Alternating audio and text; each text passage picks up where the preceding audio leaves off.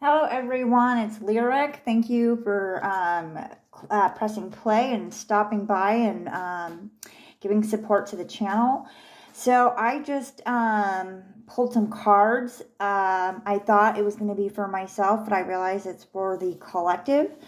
So um, what we're dealing with at the present moment is that a lot of us are kind of like dealing with a lot of negative um, thoughts right now um, we feel like we're being pierced by unknown sources. Um, we're all up in our heads.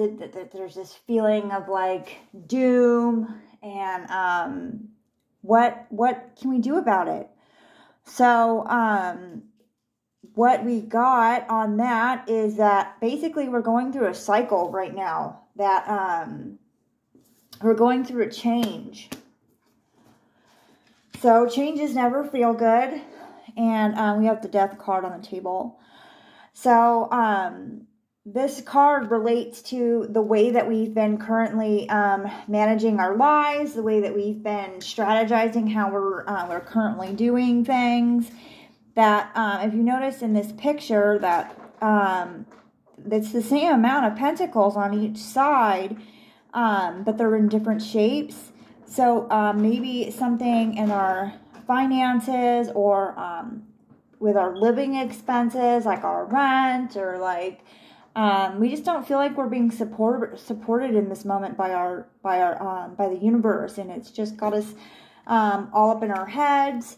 Um, our advice for that is that um, the universe is telling us that we are supported, that we were that we they knew um, their plan for us when we were born.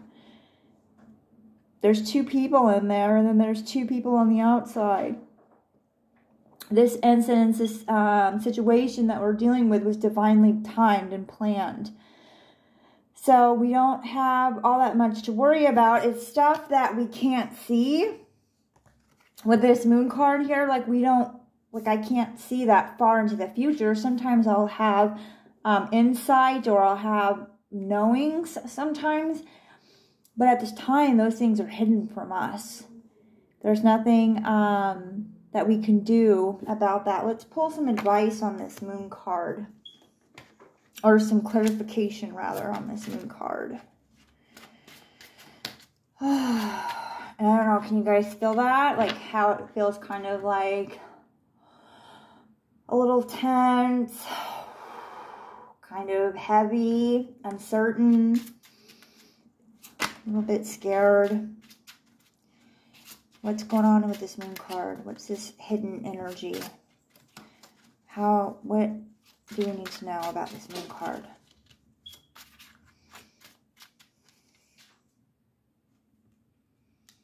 Justice. So something is being worked out in the universe, some sort of um, celestial it could also be a karmic cycle that's coming to an end. One more. It looks like um, something about uh, not being in the present moment, about being delusional, about being indecisive, um, having too many, um, spinning too many plates, basically. Um, we need to um, pull back our energy and just take a moment to appreciate the things that we have. Um, accept that life is the way that it is today, and it's the end of the day, and it's the nighttime. There's not a ton of things left that for us to do, but um, we can do whatever whatever we can in this moment. If it's just saying a kind word, if it's just doing a um, on the spot energy check uh, for the collective, if it's just um, washing the dishes for your partner, if it's just being a little bit, um, you know, just pulling back some of our anger, kind of like not necessarily just saying what's on our mind, but like really kind of like holding our space, holding back our energy so that we're not projecting onto others. So I hope that you like this reading. Thank you. Have a good night.